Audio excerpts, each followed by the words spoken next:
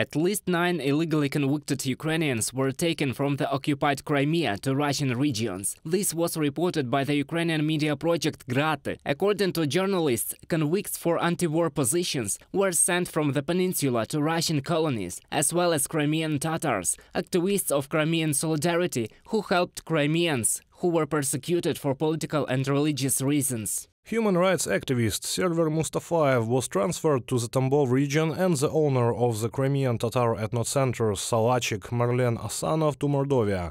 Civic journalist Seyran Saliev and father of 13 children Server Zikiryaev are now being held in Russian colonies in the Tula region. Activist Mehmet Belalov was taken to Novgorod and Timur Ibragimov to Ryazan region. The head of a religious community from the Bakhchisaray district, Adam Smailov, is imprisoned on the territory of a colony in the Kostroma region. Emil Kurbedinov, advocate in a comment for the media project Grati. Russian invaders illegally deport Ukrainian activists, journalists, volunteers from the temporarily occupied territories of Ukraine to the annexed Crimea and then to Russia, human rights activists report. Some are being held in the Simferopol pretrial detention center. Recently, the Federal Security Service even opened a new pre-trial detention center for this. It is called Pre-Trial Detention Center number 2. We know that it is designed for about 450 people, and at least we have already found 110 people there, who are now being held. These are people from the Kherson and Zaporizhia regions. Including there is the mayor of Gola Pristan, Alexander Babich. There are representatives of local authorities. Human rights activists say that soon the illegally detained Ukrainians are going to be sent to Russia.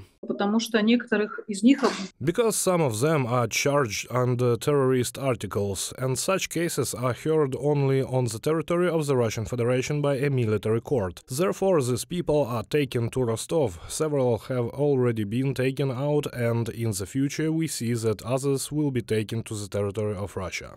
Volodymyr Zelensky instructed the representation of the President of Ukraine in the Autonomous Republic of Crimea to develop draft laws to protect the rights of Ukrainian citizens in the temporarily occupied territories. The representation is also working on new initiatives to support the indigenous peoples of Ukraine and increase sanctions pressure on Russia. In particular, this concerns falsified accusations against the Crimean Tatars and the inhabitants of the peninsula.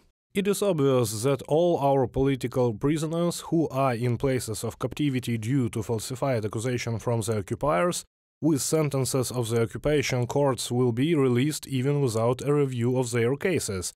Currently, at least 155 citizens of Ukraine have been arrested and convicted in occupied Crimea.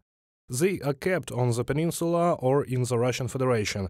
109 political prisoners are Crimean Tatars, we're talking about the absolutely absurd accusations of terrorism leveled against Crimean Tatar activists, including Seyran Saliev, Server Mustafayev, Emir Usein Kuku, Servet Gaziev, and dozens of others.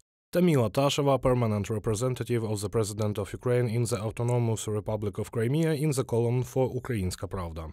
According to the Commissioner of the Verkhovna Rada of Ukraine for Human Rights, since the beginning of the full-scale invasion, the Russian occupiers have illegally deported 46,000 residents of Ukraine from the occupied territories to Crimea and Russia. More than 8,000 of them are children. The real number of kidnapped could be much higher, human rights activists admit.